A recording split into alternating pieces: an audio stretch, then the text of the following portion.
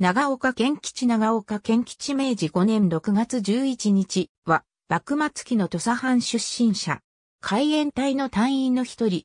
別名は、今井純正、厚見、誠。字は、古行。号は懐山。高知城下の浦戸町の医師、今井光順の長男として生まれる。母親は、長岡郡、新田村、小島市の娘で、坂本龍馬のまま母、伊予の縁者であった。幼少期は、川田シャオロンの下で蘭学に励んだ。その後は、嘉永元年、1848年に、大阪にて、獣医に入門するなどして、安政6年には、家業の医師を継ぐため、長崎で二宮警作に医学を学ぶ。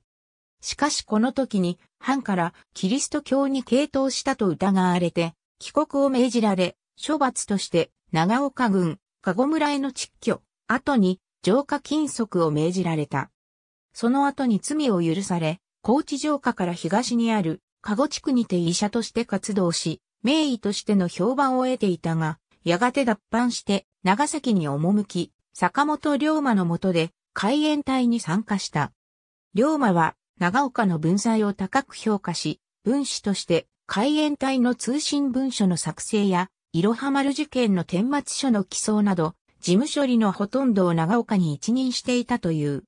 慶応3年、夕顔丸に坂本龍馬や後藤昌次郎らと同戦し、大政奉還後の龍馬の構想をまとめた戦中八作を成文化したとされる。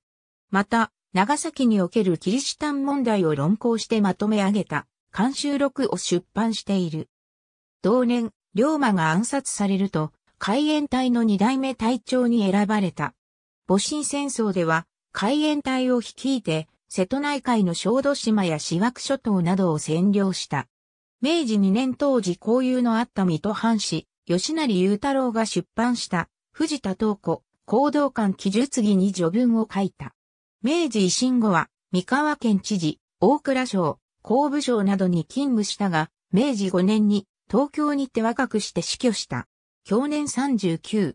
墓は、増上寺の達中の一つ、安養院にある。戦中八作と関連する反論の著者でもある。大正8年、生語位を追贈された。文芸江南神第44号 B8。文芸江南神第44号 B8。文芸神江南第44号 B8。朝日日本歴史人物辞典 http コロンスラッシュスラッシュ kotobank.jp スラッシュワードスラッシュ E9% 95% B7% E5% B2% A1% E8% AC%99% E5% 90% 89田尻左辺増位主権伝増保番上特使増位年表 P48 ありがとうございます。